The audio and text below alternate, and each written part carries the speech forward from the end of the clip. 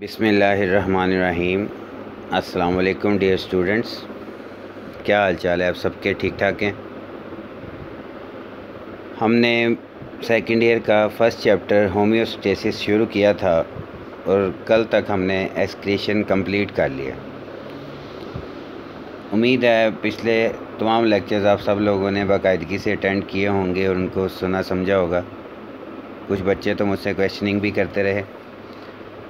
और आज हम नए टॉपिक के साथ आगाज़ करेंगे, जिसका नाम है थर्मो रेगुलेशन थर्मो रेगुलेशन भी होम्योस्टेसिस का ही हिस्सा है।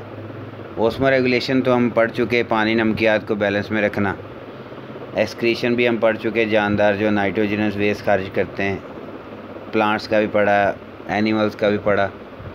अब हमने आगाज़ करना है थर्मो रेगुलेशन कि जानदार अपने बॉडी टेम्परेचर को कैसे मेंटेन करने की कोशिश करते हैं। कैसे उसको टॉलरेबल रेंज में रखते हैं।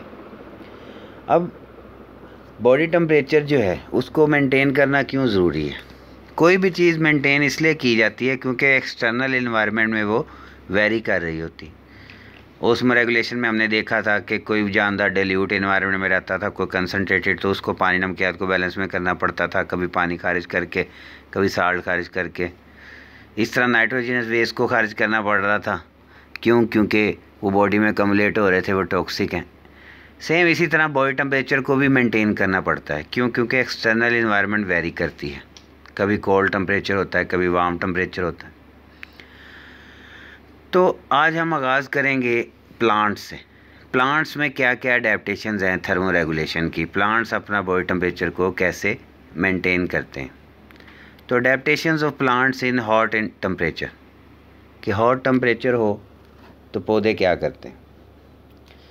अब देखिए हॉट टम्परेचर में तमाम जानदारों का जो एक यूनिक प्रॉब्लम है, वो है डीनेचरेशन ऑफ़ एंजाइम कि जानदारों के अंदर जितने भी सेल्स हैं, जितने भी केमिकल रिएक्शंस हो रहे हैं, उनके जो एंजाइम्स हैं हाई टम्परेचर की वजह से वो डीनेचर हो जाते हैं डीस्टेबलाइज हो जाते हैं डीग्रेड हो जाते हैं। एग्रीगेट हो जाते हैं। एंजाइम्स ख़राब हो जाते हैं। जब एंजाइम्स ही नहीं होंगे, डीनेचर हो जाएँगे, डिस्ट्रॉय हो जाएँगे तो ज़ाहिर है मेटाबॉलिज्म स्टॉप हो जाएगा तो हैंस सेल की डेथ और उस ऑर्गेनिज्म की डेथ हो सकती। तो पौधे यही चाहेंगे कि उनका बॉडी टेम्परेचर मेंटेन रहे ताकि उनके सेल्स में जो एंजाइम्स हैं, वो डीनेचर ना हो। तो उसका हल क्या है कि प्लांट अवेपरेटिव कूलिंग करते हैं। अवेपरेटिव कूलिंग जैसे एनिमल्स में, हमारी बॉडी में जो पसीना पैदा होता है, इस तरह पौधों में भी ट्रांसपायरेशन होती है। उनके स्टोमेटा से, उनकी क्यूटिकल से पानी बुखारात बन के निकलता है तो उससे पौधे को कूलिंग मिलती है, कूलिंग इफ़ेक्ट मिलता है। वो जो कूलिंग इफ़ेक्ट है, उससे एंजाइम्स प्रोटेक्ट हो जाते हैं। But too much water loss results in closing of stomata to prevent dehydration लेकिन ज़ाहिर है पौधा कितनी देर पानी बुखारात बन के निकालता रहे कि, कितनी देर ट्रांसपरेशन करता रहे। हो सकता है पानी की कमी होने की वजह से पौधे की डेथ हो जाए डिहाइड्रेशन हो जाए तो फिर पौधे को अपने स्टोमेटा क्लोज़ करने पड़ते हैं। जब पौधा अपने स्टोमेटा क्लोज़ कर लेता है फिर वेपरेटिव कूलिंग नहीं होगी फिर गर्मी भी है तो फिर पौधा क्या करेगा? इसका मतलब जो वेपरेटिव कूलिंग है ये आर्जी हल तो है कि वक्ती तौर पे गर्म टम्परेचर हुआ, पौधे ने वेपरेटिव कूलिंग कर ली। लेकिन ये परमानेंट सोल्यूशन नहीं है। पौधे फिर वेपरेटिव कूलिंग की बजाय उनके अंदर एक और मैकेनिज़्म भी है, एक अडेप्टेशन है, उसको हम पढ़ते हैं कि प्लांट्स ऑफ़ टेम्परेट रीजन्स गर्म इलाकों के जो प्लांट्स हैं, वो 40 डिग्री इससे भी आगे का टम्परेचर बर्दाश्त करते हैं। जैसे आजकल का टम्परेचर है फोर्टी थ्री भी होता है, कभी फोर्टी फाइव हो जाता है, कभी फोर्टी एट तक भी चला जाता है, ज़्यादा गर्मी हो तो। तो पौधे फिर इस गर्मी में कैसे अपने आप को बर्दाश्त करते हैं? पौधे इतनी गर्मी में कैसे अपने एंजाइम्स को प्रोटेक्ट करते हैं? तो cells of these plants synthesize large quantities of special proteins called heat shock protein तो फिर पौधों के जिसम के अंदर एक ख़ास किस्म की प्रोटीन्स बनती हैं स्पेशल इसी मकसद के लिए उन्हें हम कहते हैं हीट शॉक प्रोटीन्स या एब्रीवेटेड कर देते हैं एच एस पीज़ ये जो प्रोटीन्स हैं, ये एंजाइम्स को पौधे के अंदर जितनी भी प्रोटीन्स हैं, दूसरी प्रोटीन्स एच एस पीज़ के अलावा, ये एच एस पीज़ उनको प्रोटेक्ट करती हैं। कैसे? ये उनको कवर कर लेती हैं। तो टम्परेचर बढ़ भी जाए तो वो एंजाइम वो जो प्रोटीन है, वो महफूज रहती है। हीट शोक प्रोटीन्स जो हैं, उस टम्परेचर को बर्दाश्त करने की सलाहियत रखती हैं। तो these proteins embrace the enzymes so prevent denaturation तो ये प्रोटीन्स जो हैं एंजाइम्स को एम्ब्रेस कर लेती हैं कवर कर लेती हैं, लिपट जाती हैं एंजाइम के इर्द गिर्द और डी नेचरेशन नहीं होती। आगे मैंने एक स्केच बनाया है वो आपको समझाने के लिए कि ये कैसे काम करती हैं। देखें, ये जो हीट स्ट्रेस है सनलाइट गर्मी की वजह से, उससे प्रोटीन्स हमारी डी नेचर होती हैं। प्रोटीन का स्ट्रक्चर डिग्रेड हो जाता है प्रोटीन इकट्ठी हो जाती हैं। एग्रीगेट का मतलब एक जगह पे प्रोटीन्स का इकट्ठा हो जाना। तो इस हीट स्ट्रेस को बचाने के लिए, प्रोटीन की डीनेचरेशन को बचाने के लिए, हीट शॉक प्रोटीन्स पौधे के अंदर बनती हैं। अब हीट शॉक प्रोटीन्स को एच भी कहते हैं। ये मुख्तु टाइप्स की हैं, जैसे इधर लिखा है H S P hundred H S P seventy, sixty तो आपने नंबरिंग के ऊपर नहीं जाना, आप जस्ट ये याद रखेंगे कि एच एस पीज नाम की प्रोटीन होती है। कोई प्रोटीन ऐसी है एच एस पी जो रीसालुबलाइजिंग कराती है। यानी कोई प्रोटीन अब देखें टम्परेचर ज़्यादा होने की वजह से कई एंजाइम सालुबल हालत में थे साइटोप्लाज्म में, पर वो इनसालुबल हो गए। तो वो प्रोटीन फिर उस एंजाइम को दोबारा से रीसालुबलाइजिंग कराएगी। कोई प्रो कोई एंजाइम आपका था, वो उसकी रीफोल्डिंग होगी कि भी टम्परेचर ज़्यादा होने की वजह से उसका स्ट्रक्चर ख़राब हो गया था तो एचएसपी क्या करेगी? उसकी रीफोल्डिंग करा देगी। कोई एंजाइम ऐसा था जिसकी एग्रीगेशन हो गई थी। इकट्ठे हो गए थे तीन चार प्रोटीन्स आपस में मिल गई थी गर्मी की वजह से तो हीट शो प्रोटीन्स उनको रोकेंगी। इस तरह कई आपके जिसम में मुख्तलिफ़ केमिकल रिएक्शन जैसे ट्रांसलेशन ट्रांसक्रिप्शन प्रोटीन्स बनती हैं ट्रांसक्रिप्शन होती है डीएनए आरएनए आरएनए से प्रोटीन उसको एक्टिव कराती हैं। तो एच एस पीज़ आपकी बॉडी जो पौधे के सेल्स हैं, उनकी बॉडी में बनती हैं। लेकिन कैसे काम करती हैं? प्रोटीन्स को रीसालुबलाइज कराती हैं, उनकी रीफोल्डिंग करवाती हैं, उनकी एग्रीगेशन ये चीज़ें आपके सिलेबस में मेंशन तो नहीं है। वहाँ तो बस यही लिखा है कि एच एस पीज़ एंजाइम को कवर कर लेती हैं। मैंने ये स्केच इसलिए बनाया ताकि आपको ये समझ आए कि बेसिकली एच एस पी काम कैसे करती हैं। मुख्तलिफ़ टाइप्स की होती हैं और वो बॉडी को कैसे प्रोटेक्ट करती हैं? एंजाइम्स को अगर वो इनसालुबल हो गया तो सालुबल करा देंगी। अगर वो खुल गया है उसको दोबारा फोल्ड करवा देंगी। अगर वो इकट्ठी हो गई हैं, उनको लहदा लहदा कर देंगी। या कोई एंजाइम इनएक्टिव हो गया तो ये उसको एक्टिव कर देंगी। तो ये इस तरह से काम करती हैं। ये तो हो गया हॉट टेम्परेचर में पौधे कैसे सर्वाइव करते हैं? फिर है कोल्ड टेम्परेचर में पौधे कैसे सर्वाइव करते हैं? Adaptation of plants in cold temperature fluidity of the membrane alters because of lipids in the cell membrane locked into crystalline structure एक मसला क्या है कोल्ड टेम्परेचर का? कि जो सेल मेम्ब्रेन होती है, वो लिपर्ड्स की बनी हुई है।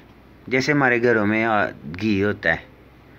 टम्परेचर ज़्यादा होता है, वो लिक्विफाई हो जाता है।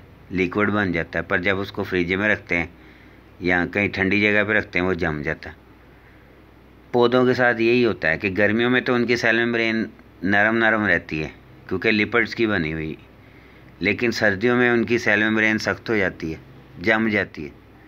तो जब सेल मेम्ब्रेन में से मटेरियल्स ने अंदर बाहर गुजरना होता है सेल के अंदर सेल से बाहर, जब सेल मेम्ब्रेन ही जम गई क्योंकि उसके जो लिपर्ड्स हैं, वो लॉक हो गए हैं क्रिस्टल स्ट्रक्चर बन गया तो फिर ट्रांसपोर्ट में प्रॉब्लम होगी। फिर पौधों के पास सलूशन क्या है? पौधों के पास सलूशन ये है कि कोल्ड टम्परेचर में वो अपनी मेम्ब्रेन में अनसेचुरेटेड फैटी एसिड का इजाफा कर लेते हैं। आपने पढ़ा था फ़र्स्ट ईयर में second chapter saturated fatty acid जो सॉलिड होते हैं रूम टम्परेचर पे और अनसेचुरेटेड फैटी एसिड जो लिक्विड होते हैं। जैसे तेल होता है। अब तेल को आप फ्रीज़र में रख दें, वो तेल ही रहता है, जमता नहीं है। फ्रिज में पड़ा। कूलिंग बर्दाश्त करता है ना, वो जमता नहीं। तो पौधे क्या करेंगे अपनी सेल मेम्ब्रेन में ऐसे फैटी एसिड बढ़ा लेंगे कि जो ठंडे हो जाएँगे पर सेल मेम्ब्रेन को जमने नहीं देंगे, यानी वो अनसेचुरेटेड फैटी एसिड का इजाफा कर लेंगे। इससे सेल मेम्ब्रेन का स्ट्रक्चर भी मेंटेन रहेगा क्रिस्टल्स भी नहीं बनेंगी।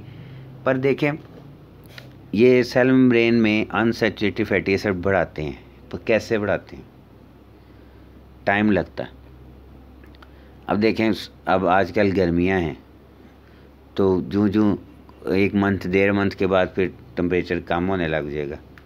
अक्टूबर में जाके गर्मी कम हो जाएगी, फिर नवंबर में जाके गर्मी जो ज़्यादा कम हो जाएगी और सर्दी आने लग जाएगी। फिर दिसंबर में जाके सर्दी ज़्यादा बढ़ जाएगी और जनवरी में फिर सर्दी और ज़्यादा, फरवरी में जाके फिर सर्दी कम। यानी ये जो हमारे माहौल है वो आहिस्ता आहिस्ता तब्दील होता है। एकदम से नहीं होगा कि आज पैंतालीस है तो कल को एकदम से धुंध पड़ने लग जाए और दस डिग्री टेम्परेचर हो जाए। ऐसा थोड़ी होता है। इसे कहते हैं सडन चेंजेस सडन चेंजेस तो पौधे को फेस नहीं करने पड़ते. अगर कभी पढ़ने भी पड़ जाए तो फिर पौधे मर जाता है. पौधा ऐसे माहौल में रह रहा है जहाँ पे ग्रेजुअल चेंजेस आते हैं. आहिस्ता आहिस्ता तब्दीलियाँ आती हैं. तो ज़ाहिर है जैसे जैसे ठंड बढ़ेगी तो पौधा अपने सेल मेम्ब्रेन में अनसेचुरेटेड फैटी एसिड का इजाफा कर लेगा. लेकिन अगर कभी आपने ऐसा कर दिया कि पौधे को गर्म टेम्परेचर से अचानक से ठंड में ले गए, फिर उसकी डेथ हो जाएगी. क्यों? क्योंकि इतनी जल्दी वो अपनी सेल मेम्ब्रेन में अनसेचुरेटेड फैटी एसिड नहीं बढ़ा सकता। ये स्लो प्रोसेस है, इसको टाइम लगता है। इसलिए उन्होंने लिखा है कि rapid chilling of plant is more stressful अगर तेज़ी से पौधे को ठंड मिले तो पौधे को ज़्यादा स्ट्रेस मिलता है, ज़्यादा पौधे के लिए बोझ है। लेकिन ग्रेजुअल तो ड्रॉप होगा इन्वायरमेंटल टेम्परेचर में, वो पौधे को इतना नुकसान नहीं पहुंचाता, क्योंकि आहिस्ता आहिस्ता टेम्परेचर कम हो रहा है तो फिर वो आहिस्ता आहिस्ता अपनी सेल मेम्ब्रेन में अनसेचुरेटेड फैटी एसिड भी बढ़ा लेगा। तो एक प्रॉब्लम ये थी कि सेल मेम्ब्रेन सख्त हो जाती हार्ड हो जाती क्रिस्टल बन जाती। उसका हल ये था कि सेल मेम्ब्रेन में अनसेचुरेटेड फैटी एसिड बढ़ा लिए जाएँ। अब दूसरा एक और प्रॉब्लम भी है कि फ्रीजिंग टेम्परेचर जो है, जब बहुत ज़्यादा ठंड पड़ती है जिन दिनों में तो फिर सेल के अंदर जो आइस बनने लग जाती साइटोप्लाज्म भी जमने लग जाता है। सेल मेम्ब्रेन तो जमती ही है लेकिन साइटोप्लाज्म भी जमने लग है। आइस क्रिस्टल सेल वाल में भी बन जाती हैं, लेकिन वो पौधे को नुकसान नहीं पहुंचाती। लेकिन जो आइस क्रिस्टल सेल के अंदर बनती हैं, साइटोप्लाज्म में, वो क्रिस्टल्स, कई तो ऐसी केमिकल्स हैं ना, जिनकी क्रिस्टल्स, नीडल्स लाइक होती हैं। वो मेम्ब्रेन्स को परफोरेट करेंगी, यानी उनमें सुराख कर देंगी ऑर्गेनालिज को डैमेज कर देंगी तो सेल की डेथ हो जाएगी। यानी कि एक प्रॉब्लम तो सेल मेम्ब्रेन के जमने का था तो दूसरा प्रॉब्लम सेल के अंदर जो साइटोप्लाज्म है, उसमें आइस बनने का प्रॉब्लम है। वो जो आइस बनने का जो प्रॉब्लम है, उसका सोल्यूशन क्या अब निकाला जाए? क्योंकि वो ऑर्गेनाइज डैमेज होते हैं उनकी क्रिस्टल से। फिर प्लांट्स जो कोल्ड रीजन्स में रहते हैं, जैसे कि ऑक्स मैपल्स रोजेज़ ये मुख्त, ये ऑक ऑक का भी दरख्त होता है मैपल का भी ट्री होता है रोजेज़ वगैरह। ये जो प्लांट्स हैं ये ठंडे इलाकों में जो रहते हैं, ये अपने सेल के अंदर, सलूट के अंदर तब्दीलियाँ लाते हैं। ज़ाहिर है क्रिस्टल्स क्यों बनती है? आइस क्यों बनती है? वो क्रिस्टलाइजेशन इससे क्योंकि साइटोप्लाज्म के अंदर बहुत ज़्यादा सलूट्स हैं। जब टम्परेचर कम होगा, वो सलूट्स अंदर क्रिस्टलाइज होने लग जाएँगे। ये आप केमिस्ट्री में पढ़ते हैं क्रिस्टलाइजेशन प्रोसेस कि जैसे जैसे आप किसी सोल्यूशन को ठंडा करते जाएँगे, अंदर क्रिस्टल्स बन जाएँगे। लेकिन अगर आप साइटोप्लाज्म में सलूट्स की मकदार में तब्दीली ले आएँ, कुछ सलूट साइटोप्लाज्म से किसी दूसरे वैक्यूल में भेज दिए जाएँ, कुछ सलूट किसी और ऑर्गेनाली में भेज दिए जाएँ, यानी सलूट्स जो हैं साइटोप्लाज्म में रीडिस्ट्रीब्यूट हो जाए। कुछ सलूट्स इधर चल जाए, कुछ सलूट्स कहीं और चल जाए, यानी सलूट की मकदार में इस तरह की तब्दीली आए कि क्रिस्टल्स ही ना बने। ठंडा ज़रूर हो जाए साइटोप्लाज्म लेकिन उन्होंने लिखा है कि bring changes in solute composition in the cells which causes cytosol cytosol मतलब साइटोप्लाज्म का जो लिक्विड पार्ट है, वो सुपर कूल हो जाता है, यानी ठंडा हो जाता है बर्फ़ की तरह। लेकिन उसमें बर्फ़ बनती नहीं है। आइस बनती नहीं है क्रिस्टल्स बनती नहीं है, क्योंकि अब सलूट्स की मकदार में तब्दीलियाँ ले आए पर उन्होंने लिखा है although ice may form in the cell वाल although ice may form in the cell wall cell wall में आइस ज़रूर बनती है, लेकिन हमने ऊपर बात की कि ice crystal in the cell wall do not harm the plant लेकिन सेल वाल में जो आइस क्रिस्टल बनती है, उससे पौधे को नुकसान नहीं पहुँचता। हाँ जो साइटोप्लाज्म में बनती हैं, उनसे पौधे को बचाना है। तो पौधा फिर क्या करता है? अपने अंदर आइस बनने ही नहीं देता। कि भाई, अपने अंदर सलूट्स की मकदार में तब्दीलियाँ लाना, कि जिसकी वजह से क्रिस्टल्स ना बने। तो तब्दीलियाँ क्या होंगी? कि वो सलूट्स को साइटोप्लाज्म से निकाल के दूसरे ऑर्गेनाइज में भेज दिए जाएँगे।